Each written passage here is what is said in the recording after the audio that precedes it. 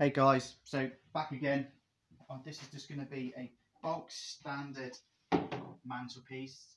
This is with the um, Odie's oil uh, penetrating oil, so the bigger tub you can buy. Um, I use a roller for this simply because it's faster and you can see it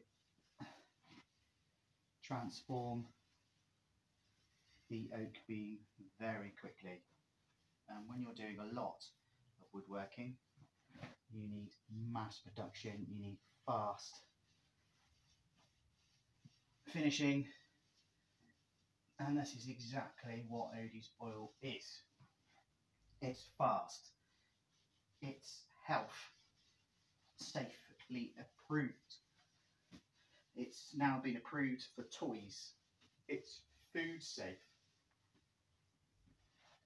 So what more do you need in a product than what it says on the jar?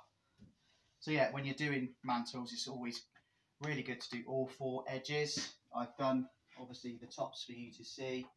Uh, I'm going to give that um, about an hour, then I buff it off, and then literally that is ready to go in the showroom, and it's as fast as that.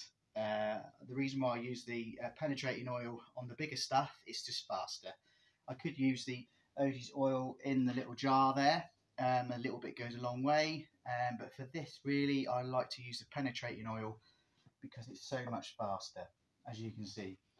It's even faster than my other videos. I mean, I can't get any faster than that. That is literally gone from the sanding station, where it's gone from being machined, sanded to 120, Bosch, ready for someone's front room. As easy as that.